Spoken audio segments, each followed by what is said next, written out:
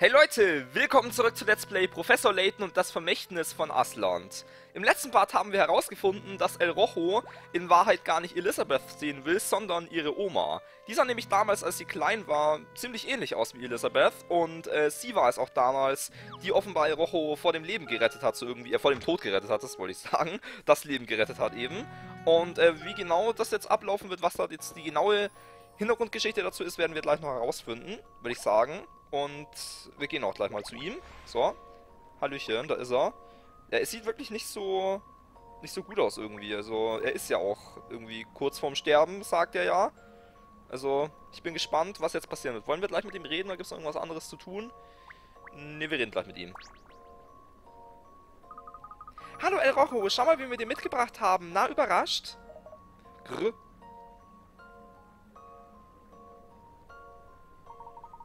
El Rojo, bist du das wirklich? Dieser kleine, hilflose Welpe, den ich damals gerettet habe? Grummel, Brummel. Frau? Oh, jetzt, oh, jetzt wird's echt, oh Gott, ich, oh Gott, ich hab schon, ich hab schon Angst, dass ich jetzt gleich, jetzt kommt schon eine, so eine ganz sentimentale Musik schon.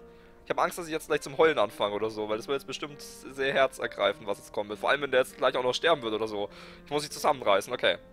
Hast du also endlich gemerkt? Ja, El Rojo, ich bin es. Ich bin Eleanor. Hechel, Hechel, Hechel. Winsel, Schleck, Winsel. ja, lass dich knuddeln, so groß und stark und doch ein Herz aus Zucker. Ach, mein Lieber. Heul. Du hast dich wirklich nicht verändert, alter Junge. All die Schmerzen und trotzdem schleppst du dich nach Torrido nur, um mich zu suchen. Ich bin ja so gerührt. Boah, die Musik ist wunderschön gerade. Er wollte ihnen den Anhänger zurückgeben, deswegen hat er sie so verzweifelt gesucht. Ach ja, ach ja. Als ich dir damals den Anhänger gab, war er ein Zeichen der Freundschaft zwischen uns. Für immer. Deswegen ist es komisch, ihn wieder zurückzunehmen, aber äh, wenn du das wirklich willst... Hechel, hechel. Ich kann übrigens nicht gut den nachmachen, ne? Merkt ihr schon, aber egal. So, geschafft. Knurr? Nanu, was ist denn los, alter Junge? Knarr, grahaha. Was? Er sagt, dass der Schmerz auf einmal wie verflogen ist. Oh. Oh, ich werd verrückt. Dann hat dir also das enge Halsband den ganzen Schmerz verursacht? Na, das ist ja mal ein Ding. Ach so. Du warst wirklich noch ein kleiner Welpe, als ich dich damals gefunden habe. Dass du einmal groß und stark wirst, war mir klar. Aber so groß und so stark, das hätte ich ja nie ahnen können. Kein Wunder, dass dir das Halsband da zu eng geworden ist. Heißt es etwa, dass El Rojo überhaupt nicht krank war? Es war bloß das Halsband? Das es sein Leben lang trug, Emmy. Manchmal bedarf es bloß eines fremden Blicks, um das größte Rätsel zu lösen. Dann haben wir uns ganz umsonst Sorgen um ihn gemacht. Puh, aber wie man so schön sagt, Ende gut, alles gut. Okay, gut, dann bin ich doch nicht kurz vor den Tränen. Also, also wenn der jetzt da wirklich abgekratzt wäre, dann äh, hätte ich vielleicht nicht mehr beherrschen können, aber nee, passt ja alles. El Rojo der Schreckliche. Es war nie El Rojos Absicht, die armen Leute von Torrido zu verängstigen. Er wollte nur dem kleinen Mädchen etwas zurückgeben, welches ihm vor etlichen Jahren das Leben gerettet hatte. Nun braucht niemand in Torrido mehr Angst vor dem großen, bösen Wolf zu haben. Und außerdem haben wir äh, unser drittes Ei, wenn sie uns das jetzt gibt. Ich hoffe mal. Da brat mir doch einer einen Kojoten. Hätte er nie gedacht, dass die Sache mit so einem Happy End ausgeht. Torido wird den Wolf in Zukunft also aufnehmen, oder? Wie Sie sehen, handelt es sich um ein sehr freundliches Tier. Und er wird mit Sicherheit niemandem in Torido etwas zuleide tun. Schließlich lebt auch seine beste Kindheitsfreundin hier. Ich weiß ja, ich weiß. Es ist nur eine ganz schöne Umstellung, wissen Sie. Ach, vergessen wir das. Eigentlich ist er ja schon ein prächtiger Wolfskerl, da will ich gar nicht widersprechen. Sehen Sie, das wird Ihnen hoffentlich eine Lehre sein, mich wie eine Verrückte zu behandeln, Sheriff. Nun aber zu Ihnen, Mr. Layton. Sie haben El Rojo doch nicht allein aus Nächstenliebe geholfen, hm? So leid es mir tut, aber Sie haben recht. Ich muss gestehen, dass dies nicht unser eigentliches Anliegen gewesen ist. Wir hatten es vielmehr auf den Anhänger abgesehen, den El Rojo nur sein Halsband trug, als sein Halsband trug. Den Anhänger, für dieses Ding haben sie den alten Jungen wie eine Herde Büffel durch die Wüste gejagt. Obwohl, wenn ich's recht bedenke, nun kann El Rojo mich ja besuchen, wann er will, ohne Ärger mit dem Sheriff. Der will er das Andenken ohnehin nicht mehr brauchen. Also gut, nehmt das Ding. Los, ehe ich's mir noch anders überlege. Sind Sie sich sicher, Miss Eleanor? Sie möchten Ihre gehegte Erinnerung wirklich aus der Hand geben? Was habe ich denn gerade gesagt? Hm? Sie sollten sich mal die Ohren besser waschen. Sonst könnte ich das Ding ja sowieso bloß Elisabeth geben. Aber der wäre es wohl zu schwer zum Tragen. Als ich ihren großen Zylinder zum ersten Mal gesehen habe, dachte ich erst, mit was für Gestalten gibt sich Elisabeth nur da ab. Bei uns tragen so einen Hut höchstens die Totengräber, wissen Sie. Aber da habe ich mich gehörig geirrt. Nun greifen Sie schon zu. Sie sagen doch, dass Sie deswegen hierher gekommen sind. Und wir haben das dritte Ei erhalten. Vielen Dank, Miss Eleanor. Das ist wirklich zu großherzig von Ihnen. Es freut uns sehr, dass wir helfen konnten, doch nun ist es Zeit, Abschied von Torido zu nehmen und damit auch von Ihnen. Leben Sie wohl. Ich würde mich freuen, wenn Sie unsere Wege, wenn sich unsere Wege in Zukunft noch einmal kreuzen würden. Das werden Sie bestimmt, ja, wegen Rätsel. Aha, jetzt kann ich auch, jetzt ist auch er hier, ja. Das will ich mal noch schnell machen. Mit denen jetzt nochmal reden. Oh, du gutes, altes, zottliges Kuscheltier. Wir sind beide ganz schön in die Jahre gekommen, nicht? Ja, wollte ich auch gerade sagen, beide. Grummelhechel. Ganz unter uns, ich verstehe beim besten Willen nicht, was Sheriff Flint gegen dich hatte. So ein Holzkopf. Heuschar. Ich rede noch mal kurz mit ihm hier. So. Ihr wollt mir also erzählen, dass El Rojo uns nur heimgesucht hat, weil er Eleanor finden wollte? Egal wie. Mit ihr, äh, mit ihr hat man eben immer nur Scherereien. Obwohl ich sie ja gar nicht so schlimm finde. Vielleicht etwas laut. Na, schwamm drüber. Ende gut, alles gut. Dank euch herrscht in Torridor wieder Frieden. Ich danke euch, äh, Caballeros oder so. Nicht der Rede wert, Sheriff. Es könnte aber noch etwas dauern, bis sich alle an ihren neuen Ehrengast gewöhnt haben. Wie war, mein Freund, wie war? Wissen Sie, früher erzählte man sich ganz andere Sachen über El Rojo. Wirklich? Was denn genau? Seht ihr die Felsen dort oben? Früher, in sternklaren Nächten, soll dort ein großes Tier gesessen haben, ganz still. Es soll von hoch oben auf Toridor geblickt haben, fast so, als hätte er über uns gewacht. Dann brauchen die Dorfbewohner also erst in pa äh, brachen sie erst in Panik aus, als sich El Rojo am hellen Tag in, die Straßen, in den Straßen blicken ließ, richtig? Jetzt muss ich sagen, ja, das kommt hin. Eleanor muss irgendwann aufgehört haben, El Rojo zu besuchen, und das hat ihn dann hierher gelockt. Ja, das muss sicher schlimm für ihn gewesen sein. Genau, aber das hat nun ein Ende. Jetzt ist Torido sein neues Zuhause. El Rojo soll, hier, soll sich hier pudelwohl fühlen. Das sind großartige Neuigkeiten. Er wird sich sicherlich freuen, auf einmal so viele Leute um sich herum zu haben. Okay, ist wirklich hier Ende. Gut, alles gut, wie schon öfter gesagt. Gut. Dann gehe ich auch gleich zurück. Also ich glaube, während ich, also wenn ich gerade ein Ei erhalten habe und mich auf den Rückweg mache, ich glaube, dann kann ich erstmal keine neuen Rätsel mehr finden. Wenn ich jetzt aber in die Bostunus reingehe, woanders hinfliege und wieder zurückkomme, dann äh, stehen, glaube ich, die ganzen Leute hier woanders und ich könnte auch von denen sogar äh, mir noch neue Rätsel abstauben oder so. Aber ich werde dann nach dem vierten Gebiet nochmal in alle anderen Gebiete auch nochmal zurückkehren und dann dort nochmal ein bisschen was nachholen. Willkommen zurück, die Herrschaften. Gehe ich recht in der Annahme, dass Ihr Exkurs ein rauschender Erfolg war? Oh, das kann man wohl sagen. Wir haben auch das Ei der Aslanti geborgen, was wir Lukes außergewöhnlicher Gabe verdanken. Ach, das war doch nichts Besonderes. Mitnichten, das sind grandiose Neuigkeiten. Ich werde mit den Abflugvorbereitungen beginnen, sobald Sie alle bereit sind. Ich frage mich immer noch, warum wir das Ei in Torrido so entfernt von jeglichen Spuren der Aslanti gefunden haben. Das stimmt, ja. Auch wenn es nicht so scheint, die Aslanti haben vor langer Zeit wirklich einmal hier gewohnt. Aurora, willst du damit sagen, dass deine Erinnerung zurückgekehrt ist? Teilweise ja. Ich erinnere mich nun, dass die Aslanti einst versuchten, dieses sterbende Land zu erschließen. Ihre Technologie reichte jedoch nicht aus. Es war ihnen nicht möglich, dem Ökosystem sein Gleichgewicht zurückzugeben.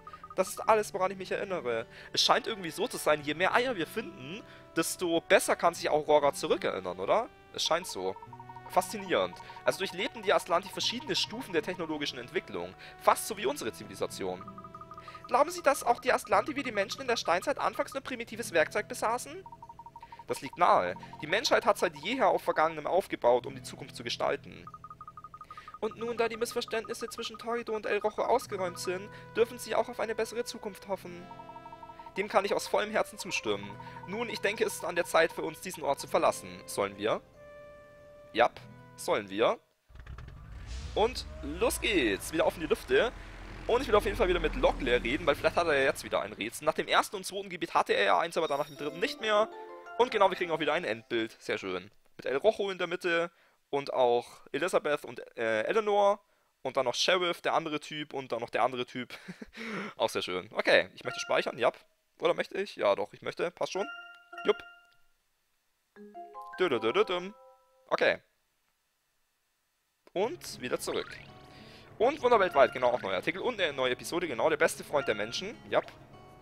Ähm, ah, ah, das, ah, vielleicht können wir in der Episode sogar sehen, ähm, wie Eleanor dann äh, wirklich ähm, El Rojo das Leben gerettet hat, weil das wurde ja jetzt nie so genau beschrieben. Also halt, als er noch ein Welpe war, hat sie ihn irgendwie gerettet, aber wie genau? Also wie das alles ganz genau im Detail ablief, vielleicht sehen wir das dann in der Episode. Das wäre auf jeden Fall cool. Aber bevor ich das mache, will ich erstmal mit Locklear reden, denn... Ach, schade. Naja, eine vergleichbare Freude wie die über einen archäologischen Fund lässt sich auch in der Luftfahrt finden. Im Angesicht risikoreicher Situationen ist die Erleichterung meist sogar größer. Okay, überhaupt nichts Besonderes, sagt er. Und Kätzchen, ich glaube, also ich glaube, das Kätzchen hat erst nach Kapitel 4 dann vielleicht neue Rätsel, aber jetzt währenddessen keine. Ja, okay. Gut, dann lesen wir jetzt mal kurz Wunderwelt weit durch und Episoden und Notizen. Ja, Notizen mal vielleicht erst am Ende des Parts mal gucken. Erstmal Wunderwelt weit, drei neue sogar. Tierarzt behandelt wilden Wolf. Ein Tierarzt in Torrido, vormals nur Kleintiere als Patienten gewohnt, wurde kreidebleich und zähneklappernd in das örtliche Krankenhaus eingeliefert. Okay. Und Torridos neuer Revolverheld. Beim Schützenfest in Torrido konnte sich ein Neuling gegen die Veteranen durchsetzen. Der junge Sieger brennt darauf, Autogramme zu geben. Ich bin gespannt, wer das sein wird. Und noch in Snöborg. Sportler kopfüber im Eis gelandet. Ein junger Eisläufer fällt in einen See und ganz Snöborg ist schockiert. Er sprang auch viel zu wild auf dem Eis rum, sprach ein Anwohner. Und das mit dem Schneemann muss ich auch noch nachholen. Das habe ich ja verschissen in Snowboard, weil ich da nicht dran gedacht habe. Das muss ich auf jeden Fall dann noch nachholen, wenn ich wieder in Snowboard zurück bin. Okay. Aber die Episode will ich mir gleich noch schnell angucken. Ähm, und zwar der beste Freund der Menschen. Nachdem sich der Trubel um El Rojo gelegt hat, merkt ganz Torrido, was für eine gute Seele doch unter all dem feuerroten Frensenfell steckt. Okay, ist es doch nicht ähm, die Geschichte, wie Eleanor ihm das Leben gerettet hat, aber ist auch okay. Hm, Ihr Gesicht hat ja Furchen wie Dörrfleisch. Was runzeln Sie denn Ihre Stirn so? Wollen Sie nicht mich nachmachen? ja, das ist irgendwie, äh, irgendwie ist Eleanor ist auch, äh, auch cool, weil die ist auch nicht auf den Mund gefallen. Oh, howdy Eleanor, das würde ich doch nie wagen. Es äh, nagt nur etwas an mir wie ein Holzwurm an der Veranda, wissen Sie. Wir sind doch hier mitten in der Ödnis. Die Sonne brennt und selbst die kleinen Tierchen hier haben Hunger wie die Wölfe. Aber seit El Rojo uns regelmäßig besucht, ist von den kleinen Plagegeistern nichts mehr zu sehen. Nicht einer. Nun reden Sie nicht um den heißen Brei herum, Sheriff Flint, sondern sagen Sie, was Sie daran stört. Immer langsam mit den jungen Pferden, dazu komme ich doch gerade. Was ich nicht verstehe, ist, warum El Rojo sich in dieses alte Bergwerk zurückgezogen hat und nicht näher an Torido lebt. Sicher haben wir es ihm zu verdanken, dass sich das ganze Kojotengeschmeiß nicht mehr hierher traut. Und wenn das stimmt, dann tut's mir echt leid, dass ich so gemein zu ihm war. Mumpitz, sie beschützen die Leute genauso wie El Rojo es tut. Sie haben sich wirklich nichts vorzuwerfen. Und was nützt es, wenn sie sich jetzt noch so viele Gedanken machen? Seitdem ist bereits viel Staub durch die Prärie geweht. Warum hat die sich jetzt zur Seite gedreht? Wenn sie es wieder gut machen wollen, dann tun sie das. Ansonsten lassen sie es auf sich beruhen. Sie haben vermutlich recht. Ich werde mir was einfallen lassen. Okay, es war jetzt... Achso, es kommt noch mehr. Okay. Hey, ich darf heute El Rojo füttern, Mr. Derringer. Sie dürfen morgen wieder. Aber ich habe heute extra das beste Fleisch gekauft, das ich finden konnte. 5 Pfund feinstes Sier... Was für ein Ding? Sier... Keine Ahnung, weiß ich nicht. Aber ich doch auch. Hier, da hast du mein Guter. Gar, ha? Ich glaube, El Rojo will nicht, dass wir uns streiten, Mr. Derringer. Woher weißt du nur, was er sagt? Wir verstehen uns eben. Schließlich habe ich viel von meiner Oma gelernt. El Rojo liebt diese Stadt und ihre Einwohner. Und wenn wir uns um ihn kümmern, dann gibt er auch auf uns Acht, nicht wahr? Gra. Und das war's aber. Ja, okay. Gut. Ich hätte es schöner gefunden, wenn ich das nochmal äh, hätte sehen dürfen. Mit Eleanor und El Rojo noch als Welpe, aber passt schon. Ähm, ja. Ich will ja eigentlich jetzt nicht mehr andere Sachen erkunden. Aber irgendwie ist es auch doof, wenn ich mitten in einem Part ein neues Gebiet betrete. Ich will das eigentlich am Anfang eines neuen Parts machen. Deswegen werde ich jetzt äh, ausnahmsweise doch nochmal ähm, woanders wieder hin zurückgehen und nicht zum nächsten neuen Gebiet. Aber ich verspreche euch, dass wir im nächsten Part dann äh, in die Berge gehen werden. Aber ich will jetzt erstmal nochmal nach Snöborg dann kurz gehen. Zu den anderen drei Orten werde ich dann eben nach... Also, wenn wir die Berge abgeschlossen haben, dann werde ich nochmal zu allen anderen vier von diesen besonderen Gebieten gehen, wo wir eben die Aslantia alle gefunden haben und dort nochmal alles mögliche dann nachholen. Also Snöborg, Greymoor und London dann nicht mehr. Ich gehe nur jetzt nochmal schnell zu Snöborg, weil es da jetzt eben sogar noch zwei neue Sachen gibt für uns. Nämlich einmal den Schneemann, den ich verpasst habe und noch der Typ, der im Eis irgendwie feststeckt oder sowas. Und da habe ich jetzt hier noch einiges zu tun und äh, ich will es halt, also ich finde es halt schöner, wenn wir am Anfang eines Parts ein, ein, Gebiet betreten, weil dann hätten wir in diesem Part jetzt irgendwie ein Gebiet beendet und ein neues betreten und das ist viel zu viel auf einmal. Das teilen wir dann lieber auf. Ich glaube, das ist ein bisschen sinnvoller. So. Wo ist jetzt der Typ, der im Schnee steckt? Muss ich da einfach mit... Ich rede mal mit dem hier. Keine Ahnung. Äh, wie habe ich den wieder geredet? Kein Pfeil. Ja, ja, und wenn ihr Stadtmenschen wieder in der Versenkung verschwindet, dann ist es an mir, die Stadt zu beschützen. Ja, okay, der ist es nicht. Ich gehe mal weiter. Dann, ähm... Ich meine, es steckte... Ah, hier passiert was sogar. Ich glaube, mein Eisfach rappelt. Ja, ja. Echte Großstädter hier. Geht es Ihnen gut, Sir? Ach, Sie sind es, Professor Topfer. das trifft sich gut. Ich brauche Ihre Hilfe.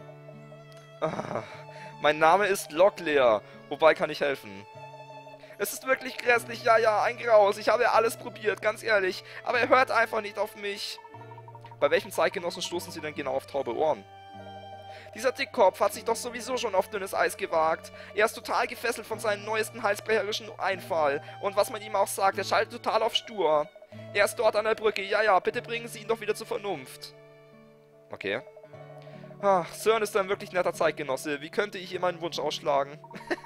es wird zwar nicht ganz klar, warum hier so viel Aufhebens gemacht wird, aber lass uns den Sachverhalt ruhig näher untersuchen. Ach, ein neuer... Ah, ein neuer Screen sogar, okay. Ähm, ich würde aber eigentlich zuerst mal den Schneemann machen, glaube ich. Das müsste ja der hier sein. Oder vielleicht ist auch der andere. Aber ich mache mal den hier. Ne, ist es nicht der. Oder? Ist es der? Nee, doch nicht. Okay, dann ist es der andere. Ja, warte mal, es, gibt ja noch einen Schneemann hier in Snowborg. Der ist, ich glaube, hier ist der gewesen. Ähm, der da. Bist du? Nee, auch nicht. Hä? Äh, jetzt bin ich verwirrt. Ich muss einen Schneemann finden. Warte mal, ist, hier war keiner mehr, ne? Aber hier ist noch... Hier ist eine Kuriosität. Was? Was, ist, was soll das denn? Ja gut, ich, ich denke mal, damals, als wir halt in Snowborg zum ersten Mal hier waren, haben wir noch gar keine Kuriositäten finden können. Wir hatten die Kiste dafür noch gar nicht. Und das ist, das ist jetzt die Bestätigung offenbar dafür. Auch in alten Gebieten, wo wir die Kuriositätenkiste noch gar nicht hatten, können jetzt auch Kuriositäten sein, die wir finden können. Na toll. Aber ist nicht so schlimm, weil wie gesagt, am Ende des äh, Spiels, also des Let's Plays wohl eher, werde ich ja eh nochmal durch jeden einzelnen Screen hier so durchgehen und dann würde ich das eh finden. Aber wenn ich jetzt schon hier bin, will ich das eigentlich auch entdecken und ich das zwar hier nämlich in der Kiste. Da ist nämlich ein Warmhalteschal, okay. Warte mal, ist es der Schneemann da? Nee. Ah, mutiger, ah, ich habe ja was Neues gefunden, ein mutiger Schneemann. Okay. Das ist ja auch interessant. Warte mal, warte mal, kann ich auch kann ich neue Street Pass-Objekte finden? Ne, das, nee, das hatten wir in Snowberg doch auch schon, oder? Warum sind ja so viele neue Hinweismünzen eigentlich? Das habe ich doch schon alles mal erkundet hier. Hä? Die habe ich doch auch schon geredet. Ich will es hier drin immer schön warm haben, bla bla. Ja, eben, die sagt nichts Wichtiges. Jetzt bin ich verwirrt. Warum ist hier noch so viel Zeug? Das ist komisch, keine Ahnung. Ja, wo ist jetzt der verdammte Schneemann, den ich hier suche? Vielleicht ist der an dem anderen Screen sogar, aber das glaube ich eigentlich eher nicht. Also ich glaube, hier war auch noch einer. Der da, aber ich glaube, mit dem konnte ich gar nicht interagieren. Ah, doch, kann ich interagieren. Der ist aber auch nicht. Hä. Ja. Das ist ja jetzt wieder doof. Ja, dann gehe ich einfach mal dahin und schau mal, ob ich den da finden kann. Vielleicht habe ich den auch wirklich noch gar nicht finden können. Das kann ja auch sein. Ah, hier ist ein Rätsel. Aha, okay. Bei dem Regenschirm vielleicht, weil der steht da schon sehr auffällig. Ist hier ein Schneemann irgendwo? Und hier ist kein Schneemann mehr. Wo ist denn dieser verdammte Schneemann? Oder vielleicht muss ich auch mit, einfach mit einer Person reden und die erzählt mir dann was darüber. Aber ich habe halt auch, ich habe jetzt mit jeder nochmal geredet. Und die haben alle nichts Wichtiges gesagt. Ach, keine Ahnung, was weiß ich. Aber erstmal jetzt erkunden, bevor ich das Auffälligste mir angucke. Und das, der Regenschirm ist schon ziemlich auffällig. Oder halt Sina natürlich, ist klar. Mit denen kann ich nichts machen. Hier ist noch ein Schild. Mit Hinweismünze, okay. Ja, auch wieder ganz, ganz viele Lampen und Kamine bestimmt auch. Ui, sehen Sie nur, Professor, das, der ganze See ist zugefroren. Wahrscheinlich ist das Eis dick genug, um darauf Schlittschuh zu laufen. Zweifellos leben dort unter dem Eis einige robuste Fische. So, halt. Wo? Kamin? Nee. Hier. Ja, was, wo denn? Diese Bäume sehen aus, als hätte ein, er hätte ein Künstler sie geformt. Stellt euch nur vor, wie wunderbar die Bäume beleuchtet aussehen. Es sieht aus, als hätten sie Blätter aus Schnee. Äh, und hier? Aha, okay. Ein Ringelstrumpf haben wir hier gefunden. Und hier ist noch was? Ach, nee, hier ist ein Rätsel. Okay, auch gut. Der See ist komplett zugefroren. Ob das Eis dick genug zum Schlittschuhlaufen ist? Den See zu überqueren wäre eine waghalsige Angelegenheit. Genießen Sie die Aufregung des Schlittschuhlaufens doch lieber auf eine weniger riskante Weise, nämlich bei dem Rätsel hier. Okay, ein Schlittschuhlaufrätsel. Ich bin mal gespannt. Für 40 Pikarat Nummer 86 und es nennt sich Rötlis Rutschpartie Nummer 2. Ah, okay. Rötli Kröt will sich auf dem vereisten Saison, hilf ihm zu seinem Lieblingsplatz. Ich will mal kurz durchlesen, wie das war, weil das ist schon vor einigen Parts passiert. Kleine Schildkröten wie Rötli rutschen weg, wenn sie von etwas getroffen werden. Die große rühren sich dagegen nur, wenn Rötli oder ein Eisblock sie trifft. Okay. Eisblöcke lassen sich nur von dir bewegen, äh, und stopfen jedes Loch, in das sie fallen. Kannst du die Schildkröte Eisblöcke so bewegen, dass Rötli am Ende allein in der Mitte der Eisfläche sitzt? Ja, okay, das könnte auch wieder fies werden, glaube ich. Ähm, wie rum soll ich es machen? Ich wechsle mal, weil man es da ein bisschen besser sehen kann. Das sieht zwar auf dem Topscreen schöner aus, wegen 3D, aber so kann man sich, glaube ich, die Gedanken ein bisschen besser machen darüber. So. Ähm. Ja, wie fange ich hier an? Das könnte wieder sehr tricky werden. Also einer hier rein ist doch vielleicht keine verkehrte Idee, oder? So irgendwie. Was passiert ist, wenn ich hier sowas mache? Der Eisblock? Der Eisblock bleibt. Aber bleibt der Eisblock auch, wenn ich dich dagegen bewege? Ja, okay, also Eisblöcke sind unbewegbar, außer ich mache das selber. Ja, okay. Nein, das gefällt mir aber nicht. Ähm, wenn ich das und das mache, wenn ich... Ja, es ist wieder schwierig. Wenn, wenn ich zwei normale, dann fliegt die hintere auch weg, ja genau. Aber meine, eine große kann ich aber auch wegbewegen. Hey, ich habe immer noch nicht verstanden, wo der Unterschied zwischen den großen und den kleinen ist. Warte mal. Kleine Schildkröten wie Rötli rutschen weg, wenn sie von etwas getroffen werden. Die großen rühren sich dagegen nur, wenn Rötli oder ein Eisblock sie trifft. Ach so, wenn eine grüne die trifft, dann nicht. Ach so, also Rötli ist quasi stärker als die Grünen. Hä. Okay. Ähm, ja, das macht die ganze Sache dann um einiges interessanter. Ähm. Oh Gott, ja, da gibt es wieder tausend Möglichkeiten, wie ich das machen kann, vor allem mit der Reihenfolge. Ich glaube, das wird sehr schwierig werden. Aber ich habe schon, ich habe schon so ungefähr eine Idee, wie ich es machen will, glaube ich. Ich meine, den da, also ich will auf jeden Fall den da reinmachen. Wenn ich jetzt dich hier hinpacke und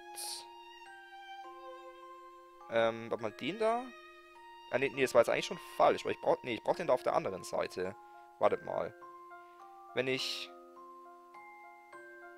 Ach so, nee, es geht ja auch nicht. Hä. Das ist ja wieder doof. Was ist, wenn eine große Schildkröte in was, ins Wasser fällt, dann ist die einfach weg, ja. Jetzt hier sowas... Ja, das ist aber auch Käse. Hm. Ja, das ist, äh, wieder nicht einfach. Solche ähnlichen Rätsel gibt es ja in vielen Layton-Spielen so Eisverrutschgedöns. Und da bin ich mal gut und mal schlecht. Also mal habe ich das total schnell raus, aber mal brauche ich auch ewig. Ich glaube, das ist jetzt hier wieder ein Fall von von ewig. So irgendwie. Ich, also ich will, glaube ich, auch mal... Ich will entweder den hier mal machen. Entschuldigung. Oder den hier. Das ist eigentlich relativ egal, welchen ich mache. Ich will auf jeden Fall, dass mal eine Schildkröte hier steht. Also... Weil ich... Oder, warte mal. Ja doch, ich würde nämlich ganz gerne... Obwohl das einfach... Eigentlich ist es auch schlecht. Weil man kann den... Rötli kann aber schon auch weggeschossen werden, oder? Ja, das ist schlecht.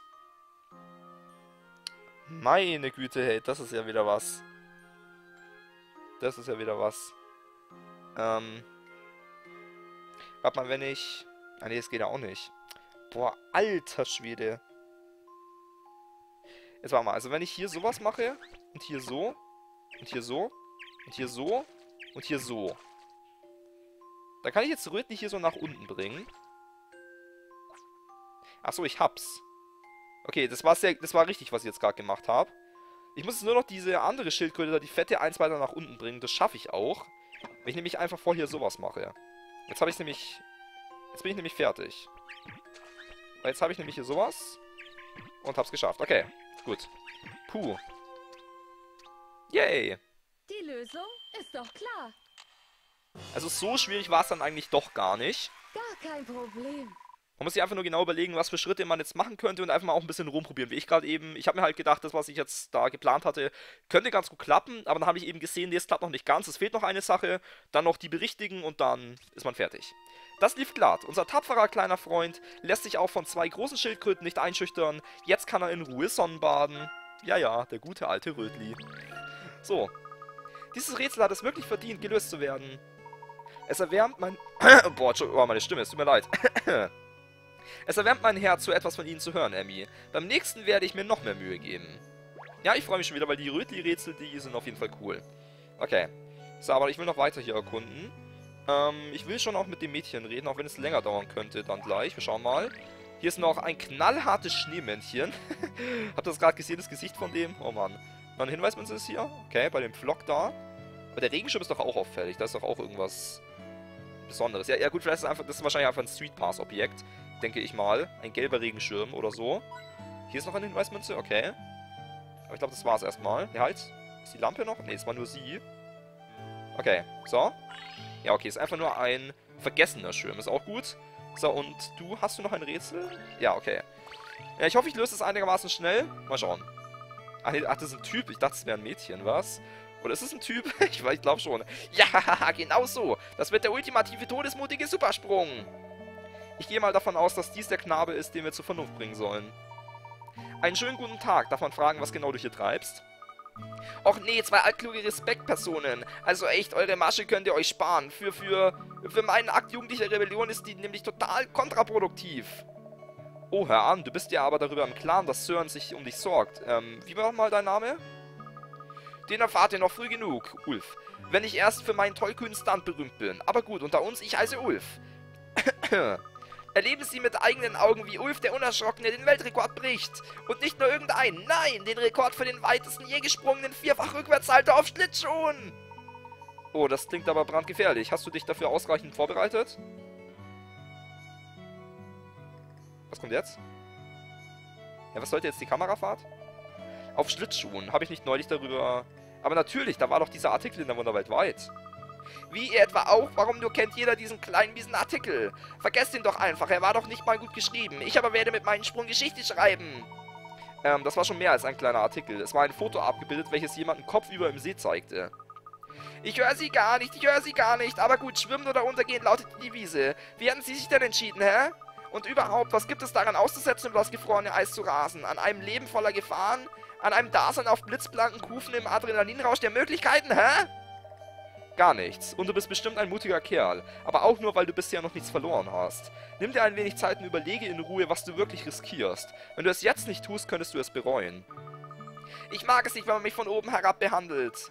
Kennen Sie sich denn überhaupt so gut aus, um mit mir auf Augenhöhe zu diskutieren? Ja, mal gucken. Ich bin sehr gespannt. Auf jeden Fall ist der ein ziemlicher Idiot. Das steht fest. so, Rätsel 139 Pikarat. Rutschige Lieferung. Ah, okay. Ein Pokémon-Rätsel äh, Pokémon-Eisrätsel. Der Briefträger hat verschlafen und ist spät dran. Da der See zugefroren ist, möchte er die Abkürzung darüber nehmen. Allerdings ist er so rutschig, dass der Briefträger nicht halten kann, wenn er einmal losgeschlittert ist, es sei denn, er trifft auf einen Felsen.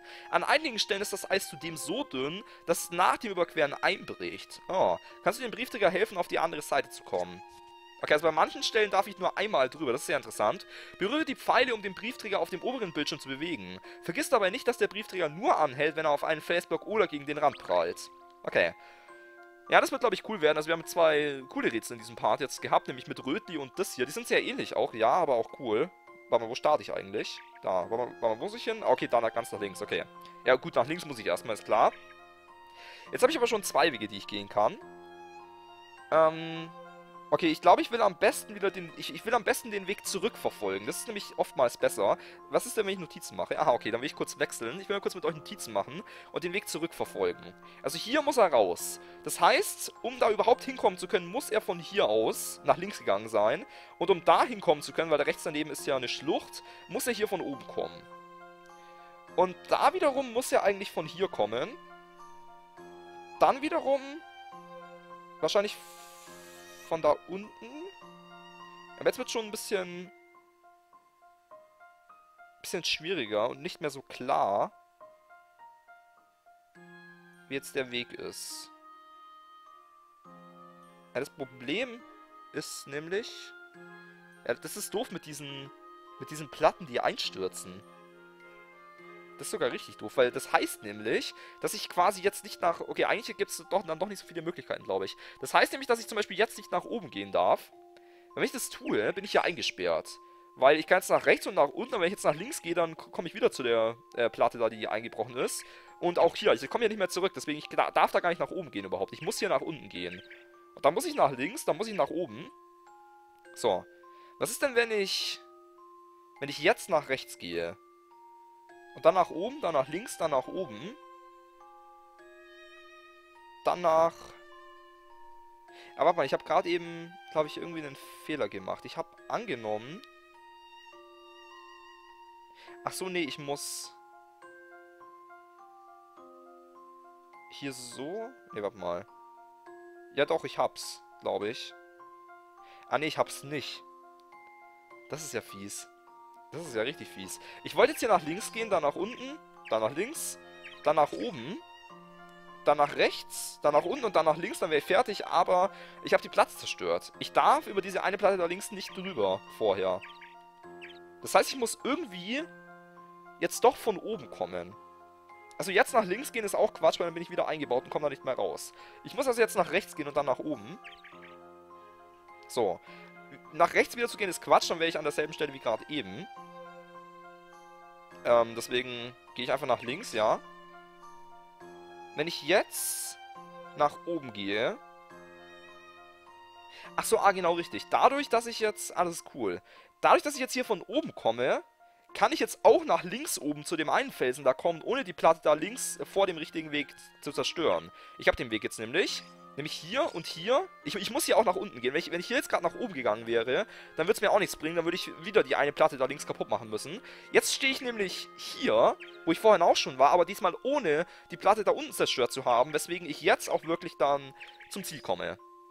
Okay, puh. Nach reiflicher Überlegung war auch nicht so einfach, aber cool, hat mir gefallen. Logik ist eine essentielle Disziplin. Also solche Eisverschieberätsel, die finde ich eigentlich immer cool. Also Videospielübergreifend. Das gibt es ja in Pokémon, wie gesagt, in Zelda auch. Also sowas mag ich eigentlich immer.